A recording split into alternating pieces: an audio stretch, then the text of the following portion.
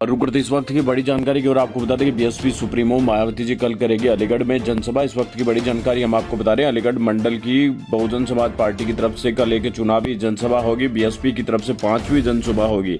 उत्तर प्रदेश में विधानसभा के चुनाव है। प्रथम चरण के चुनाव के अंतर्गत आपको बता दें कि बहुजन समाज पार्टी की राष्ट्रीय अध्यक्ष मायावती जी अपने प्रत्याशियों के समर्थन में कल अलीगढ़ में एक जनसभा करेगी। अलीगढ़ शहर में ही चुनावी जनसभा होगी और इसी जनसभा में आपको बता दें कि वो शिरकत करेगी। शिरकत करने के बाद सपा बस भाजपा और अन्य विरोधी दलों पर निशाना भी साध सकती है और अपने प्रत्याशियों के समर्थन में जनसभा करेगी। तो बड़ी जानकारी हम आपको बता रहे उत्तर प्रदेश के विधानसभा चुनाव से पार्टी के राज्यसभा सांसद रामजी गौतम ने ट्विटर के माध्यम से ट्वीट करते हुए इस बात की जानकारी दी है कि बहुजन समाज पार्टी कल अलीगढ़ शहर में एक चुनावी जनसभा को समर्थन करेगी। तो ये बड़ी अपडेट हम आपको बता रहे हैं। एसपी अध्यक्ष मायावती जी प्रत्याशियों के समर्थन में आपको बता दें कि एक चुनावी जनसभा को संबोधित करेगी। उत्तर प्रदेश के विधानसभा चुनाव को लेकर एक बड़ी जानकारी, अलीगढ़ में कल बीएसपी की जनसभा है।